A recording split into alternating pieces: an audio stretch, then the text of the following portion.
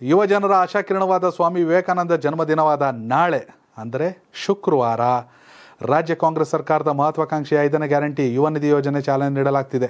ಶಿವಮೊಗ್ಗ ನಗರದಲ್ಲಿ ನಡೆಯುವ ಕಾರ್ಯಕ್ರಮದಲ್ಲಿ ಶಿವಮೊಗ್ಗ ಫಲಾನುಭವಿಗಳಿಗೆ ನಗದು ವರ್ಗಾವಣೆ ಮಾಡುವ ಮೂಲಕ ಮುಖ್ಯಮಂತ್ರಿ ಸಿದ್ದರಾಮಯ್ಯ, ಡಿಸಿಎಂ ಡಿಕೆ ಶಿವಕುಮಾರ್ ಸೇರಿದಂತೆ ಗಣ್ಯರು ಯೋಜನೆಗೆ ಚಾಲನೆ ನೀಡಲಿದ್ದಾರೆ.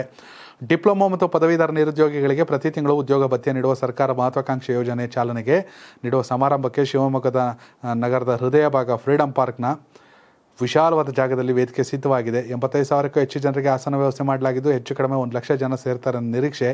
ಬೆಳಗ್ಗೆ ಹನ್ನೊಂದು ಗಂಟೆ ಕಾರ್ಯಕ್ರಮ ಆರಂಭವಾಗಲಿದ್ದು, ಶಿವಮೊಗ್ಗ, ದಾವಣಗೆರೆ, ಚಿತ್ರದುರ್ಗ ಚಿಕ್ ಚಿಕ್ಕಮಗಳೂರು, ಉಡುಪಿ ಹಾಗೂ ಹಾವೇರಿ ಜಿಲ್ಲೆಗಳಿಂದ ಒಂದು ಲಕ್ಷಕ್ಕೂ ಅಧಿಕ ಫಲಾನುಭವಿಗಳು ಹಾಗೂ ಅಷ್ಟೇ ಸಂಖ್ಯೆಯ ಜನರು ಪಾಲ್ಗೊಳ್ಳಲಿದ್ದಾರೆ.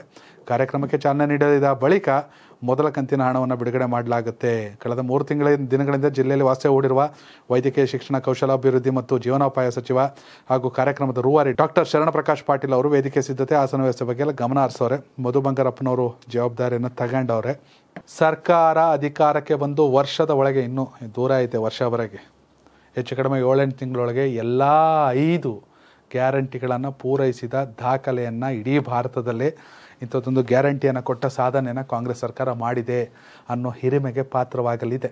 ಯುವ ನಿಧಿಯಲ್ಲಿ ಸೈಲೆಂಟ್ ಆಗಿಬಿಡ್ತು, ಸುದ್ದಿನೇ ಇಲ್ಲ, ನಿರುದ್ಯೋಗ ಬತ್ತೆ ಅಂತ ಬಿ ಜೆ ಪಿಯವರು ಮಾತಾಡೋಂಗಿಲ್ಲ ಇನ್ನು ಲೇಟಾಗಿ ಕೊಟ್ಟರು ಲೇಟೆಸ್ಟಾಗಿ ಕೊಡೋಕ್ಕೆ ಸುದ್ದಿ ಆಗೋರೆ.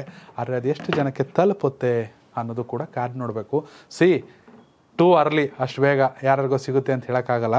ಬಟ್ ಯಾವುದೇ ಯೋಜನೆಗಳನ್ನು ದೊಡ್ಡ ಮಟ್ಟದ ತರುವಾಗ ಅಷ್ಟು ಸುಲಭವಾಗಿ ಅಂಡರ್ ಎಸ್ಟಿಮೇಟ್ ಮಾಡೋಕ್ಕಾಗಲ್ಲ. ಅದರದ್ದೇ ಆದ ಟೆಕ್ನಿಕಲ್ ಇಶ್ಯೂಸ್ ಇರ್ತವೆ.